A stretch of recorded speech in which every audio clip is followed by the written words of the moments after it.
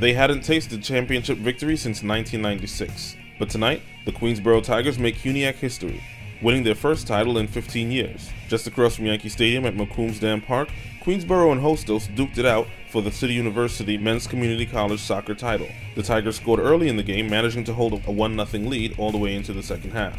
With only 20 minutes left in regulation just to seal the deal, Amadou Papal off a Luis Franco pass finds the back of the net for the breakaway goal, pushing the score 2-0 Tigers and bringing the trophy back to Queens. When Luis was going down the line on the left mid, I'm thinking, is he going to pass it? Is he going to shoot it? So when he chipped it to his, his left foot, he kicked it in, and I saw it coming my way, so I blasted it. Because they, had we not scored first, they probably would have sat back and played defense.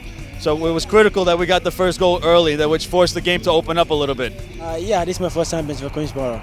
I mean, last year, like, Team Twin was great, but, like, this year, I'm glad we, we like, we made to this far. For Hostos, this finals matchup is the program's first ever conference championship appearance. From the Bronx, New York, for CUNY Athletics, Kenson Noel.